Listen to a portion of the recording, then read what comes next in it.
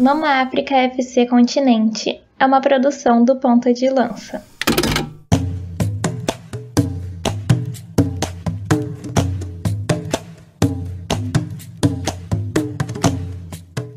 Olá, eu sou Rubens Guilherme Santos e já vou dando as boas-vindas a você que veio acompanhar mais um episódio do Mama África FC Continente, o podcast que te apresenta aos países que compõem África. Por aqui você conhece um pouco mais de cada uma das 54 nações do continente africano, com diversas informações de assuntos relacionados à história, culinária, geografia, política, cultura e futebol local.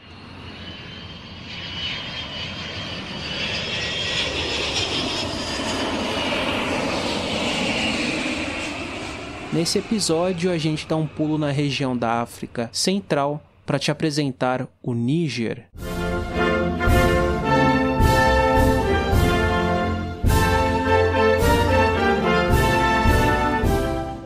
Vamos começar apresentando a etimologia do nome dessa nação. O país leva o nome de um rio, o rio Níger, que corta alguns países do continente africano, como Guiné, Mali, Níger e Nigéria. Em várias línguas locais, Níger quer dizer Grande Rio. A República do Níger está situada na região da África Central. Seu território se estende em uma área de 1 milhão e 267 mil quilômetros quadrados. Estima-se que mais de 23 milhões de pessoas habitam o Níger, segundo dados de 2019 do Banco Mundial. O país faz fronteira com a Líbia ao norte Argélia Noroeste, Chad a leste, Mali a oeste, Nigéria ao sul e Benin e Burkina Faso a sudoeste. Cerca de 65% do território nigerino é coberto pelo deserto do Saara e os outros 35% são cobertos pelo Sahel, uma região semidesértica. A capital nigerina é Niamey. Depois dessa introdução, vamos compreender melhor como foi formada a atual República do Níger. Se liga aí que lá vem história.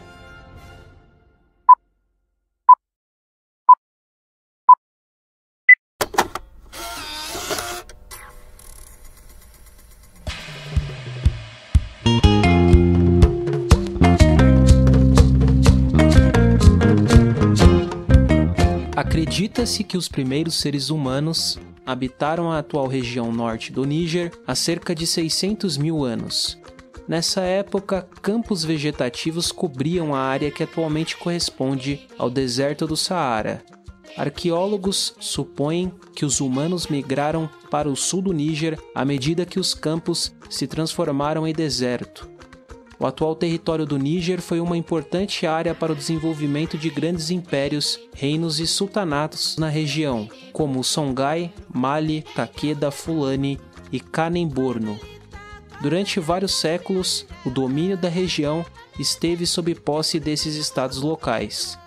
Foi apenas a partir do século XIX que os europeus passaram a explorar a região. Os primeiros exploradores do velho continente a chegarem na área foram o britânico Mungo Park e o alemão Heinrich Barth, em 1800. Os franceses chegaram mais tarde e começaram a colonizar a área. Em 1896, o atual território do Níger passou a fazer parte da África Ocidental. Em 1922, a região se tornou uma colônia francesa. Após anos de domínio europeu em seu território, o Níger passou a ser uma república autônoma em 1958. A emancipação completa do território foi proclamada em 3 de agosto de 1960, quando o povo nigerino conquistou a independência. O primeiro presidente do país foi Ramani Diori, com um governo marcado pela adoção de medidas autoritárias. Diori permaneceu no cargo até 1974, quando sofreu um golpe de Estado. Entretanto, uma nova ditadura veio pela frente, liderada por Seyni Conche, que seguiu no poder até sua morte em 1987 e que foi continuada por Ali Seibo. No início da década de 1990, rebeldes tuaregues começaram a lutar contra o governo. em 1993, Mahamane Usmani tornou-se presidente, após vitória na primeira eleição multipartidária do Níger. As revoltas tuaregues continuaram até 1995, quando foi assinado um cessar-fogo. Porém, um ano depois, em 96, Usmani foi deposto após um golpe militar liderado pelo coronel Ibrahim Baré Mainassara, que continuou no poder após vencer as eleições presidenciais daquele mesmo ano. Só que Mainassara foi assassinado em 1999, durante novo golpe militar. Após nove meses de um governo de transição, de Dauda Malan Wanki, que foi o presidente do Conselho Nacional de Reconciliação, Mamadou Tandja tornou-se presidente com a vitória nas eleições democráticas. O governo de Tandja ficou marcado pela estabilidade política no Níger. Após ser reeleito em 2004, seu ciclo na liderança da nação se encerraria em 2009. Porém, através de manobras políticas inconstitucionais, criticadas pela população nigerina e inclusive pela comunidade internacional, ele conseguiu permanecer governando o país até 2010, quando foi deposto por um novo golpe militar. O país voltou a ter um governo civil em 2011, com a realização de uma nova eleição, desta vez vencida por Mahamadou Issoufou. Ainda em 2011, grupos terroristas de fundamentalistas islâmicos tornaram-se mais ativos no Níger junto ao descontentamento da população com o novo governo. O Boko Haram, uma organização terrorista com origem na vizinha Nigéria, atacou o sul do Níger em 2015. O governo nigerino e de outros países da região combateram esse grupo. Porém, o Níger precisou dar assistência a milhares de refugiados que saíram da Nigéria para se instalar no país, fugindo dos ataques terroristas. Em 2016, Issoufou conseguiu a reeleição, mesmo com um grande número de opositores e críticas quanto ao seu governo. Os ataques terroristas continuaram na região, até que as atividades coordenadas pelo G5 do Sahel, grupo de países da África Central destinado a políticas de segurança, deram trégua no avanço dos insurgentes. O segundo mandato de Issoufou foi concluído no início de 2021, com destaque para uma retomada econômica freada pela pandemia da Covid-19. Mohamed Bazoum é quem atualmente ocupa o cargo de presidente do Níger após ser eleito em abril de 2021. O primeiro-ministro vigente é o Humudu Mahamadou. Após esse breve resumo sobre a história do Níger, vamos apresentar mais dados sobre o país.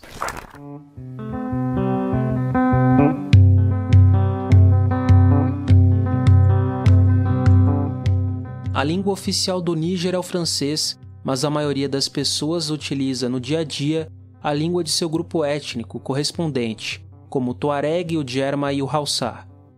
Vários grupos étnicos habitam o Níger. O maior deles é o dos Hausas, mais da metade da população.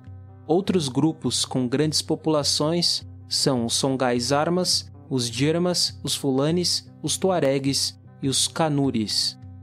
A religião com mais adeptos no país é o islamismo. Existem minorias de animistas e de cristãos. A moeda local é o franco CFA. A maior parte da população nigerina trabalha na agricultura de subsistência, no cultivo de produtos como painço, sorgo, mandioca, manga, batata doce e vegetais. Também a criação de cabras, gado bovino, carneiros e camelos. A principal atividade da indústria do país é a mineração de urânio. O Níger também possui depósitos de outros recursos como carvão, estanho, minério de ferro, sal e ouro. A importância do turismo para a economia nigerina vem crescendo nos últimos anos.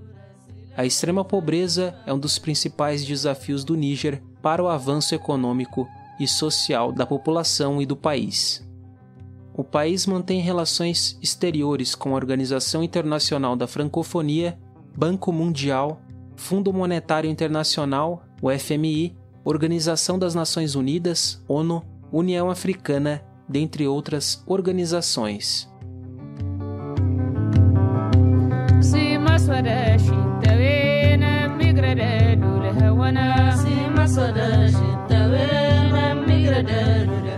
Agora o assunto é culinária. O arroz de olof, o dambu, a moringa, sopas e o mingau de painço são alguns dos alimentos tradicionais da cozinha nigerina. Além disso, há o tom shinkafa, um bolo de arroz ou milho acompanhado de molhos, carne e vegetais locais, e o tatabara, que é o pombo grelhado assado.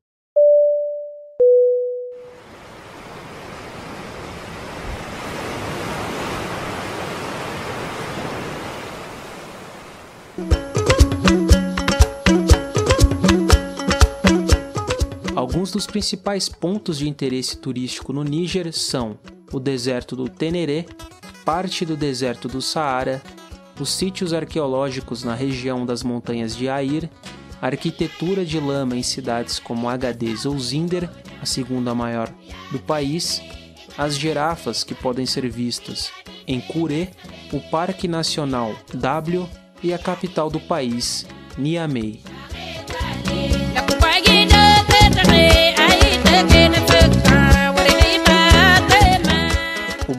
Tuareg é um dos gêneros de origem tuareg mais difundido no planeta.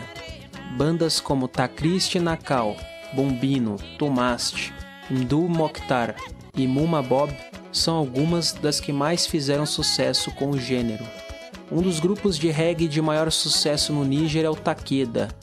O Tal Nacional é a banda de maior sucesso popular moderna, com um som resultante da mistura do blues tuareg, afrobeat, highlife, cora, dentre outros gêneros. Duas celebrações típicas são bem populares no país. Uma delas é o Festival da Cura do Sal, tradicional do povo tuareg, que marca o término da temporada de chuvas. O outro é o Festival Jerewou, do povo Wodabi, onde homens se produzem para conquistar o coração de mulheres de seus respectivos clãs. Há também o Festival do Deserto, que é uma celebração importante para a música local.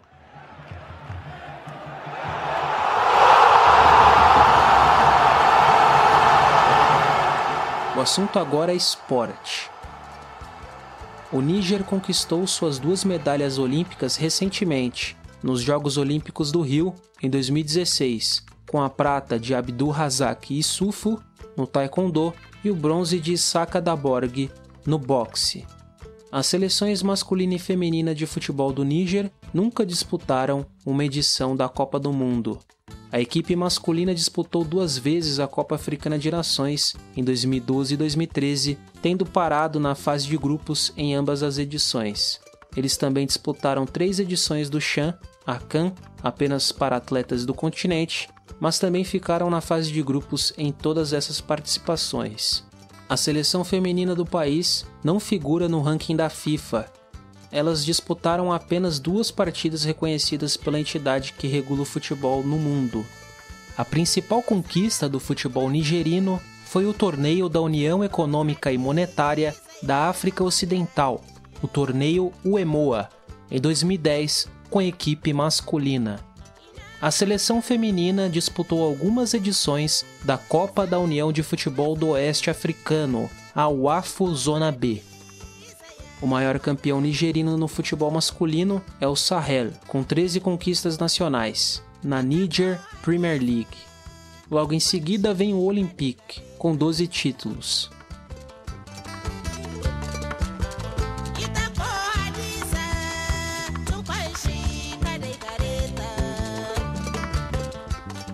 E vamos chegando ao fim desse episódio do Mama África FC Continente, que te apresentou o Níger.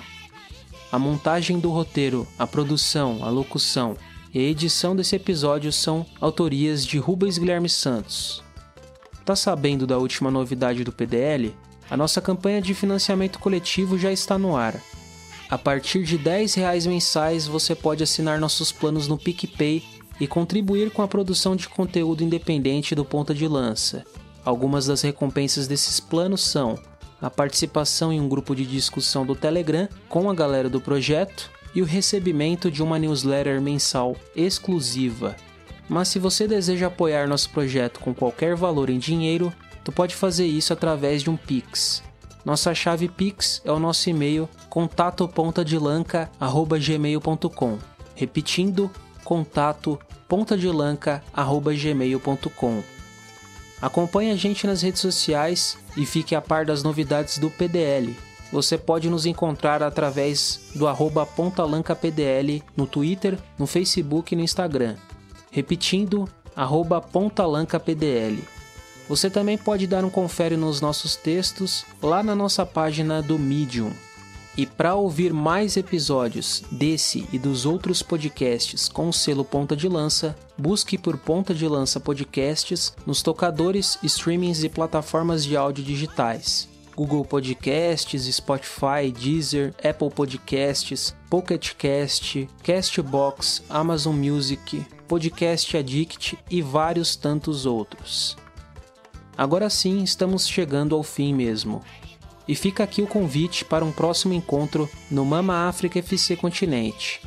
Mas antes de terminarmos, quero lembrar você que ponta de lança é hashtag paixão por ousar. Até a próxima!